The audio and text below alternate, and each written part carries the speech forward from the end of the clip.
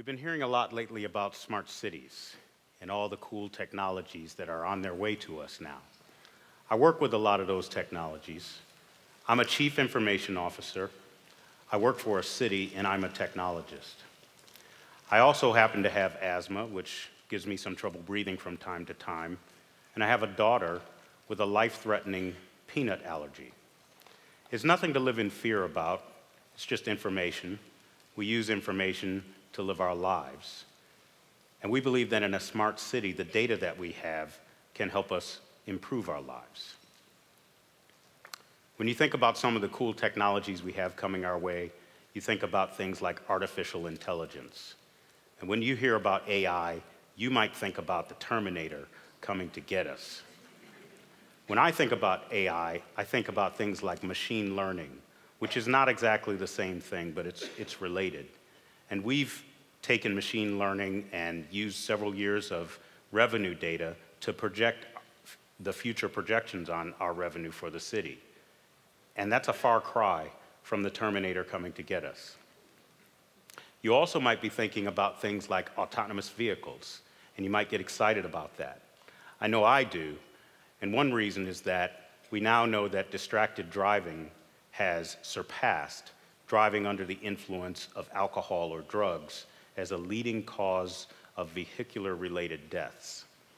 And we haven't gotten rid of driving under the influence. We've just added something else that's even worse than that. It's going to take us a long time before we get to true autonomous vehicles. And it's going to be little by little, step by step. And for example, the first time you saw driver side blind spot warning, little light going off, you might have said, oh, that's cool. It's just a little piece of information, helps keep me safe, makes me a better driver. And the first time you saw maybe a camera in the back of the car, that when you put the car in reverse, you can see behind you, you're not going to hit anything, you're not going to hit anybody. And you said to yourself, oh, that's cool. It's another piece of information. It's just adding to my being a little bit more safe. A more realistic uh, example is parallel parking.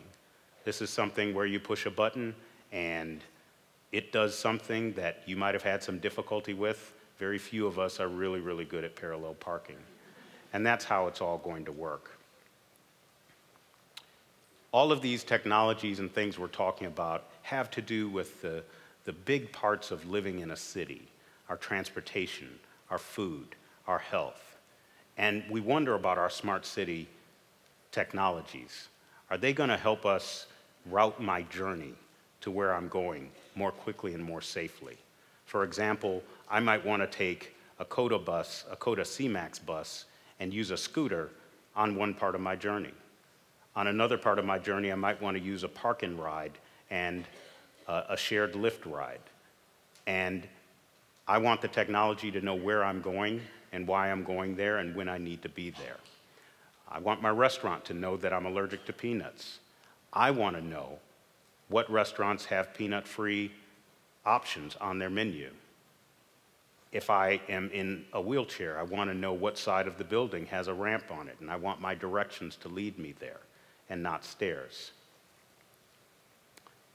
We now have air quality advisories that tell everybody about our air quality alerts. In a smart city, I want to receive a personal alert that talks to me about the air quality based on my needs and my particular condition.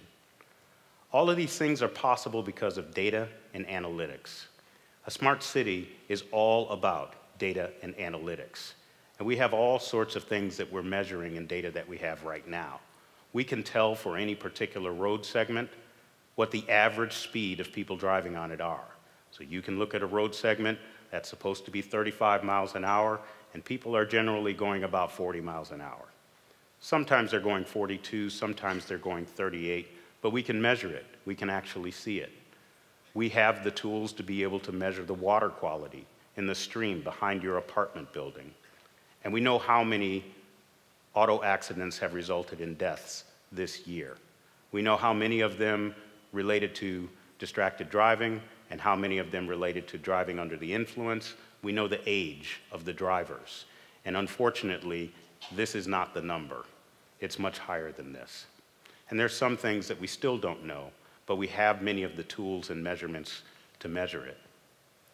A city is both personal and public, and we can measure and analyze all of us, such as the example of how we're driving on a particular road segment, and one of us, such as my map application that I tell exactly where I'm going and it knows exactly how to get me there. And our technology can maximize my personal benefit, which is my fastest, safest route, and it can maximize the public benefit, which is my route should not cause a traffic jam for everybody else. But there's some things that we fear, some things that we're concerned about, and that's okay. To me, it makes me feel like when I was transitioning from having training wheels to not having training wheels on a bike. I knew I wanted to get rid of the training wheels. I knew I wanted to go forward. I wanted to be like the big kids. I kind of knew that I had to do it.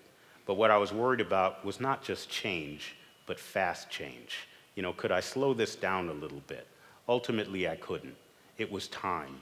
I needed to make that transition, and I was nervous about it, and that's okay. It's appropriate for us to be nervous and concerned about our data and our privacy. Uh, our people can take advantage of us. Hackers can use our information against us.